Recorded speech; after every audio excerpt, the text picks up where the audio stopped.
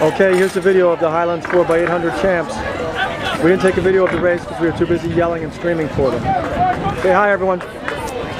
Wave. School record holders.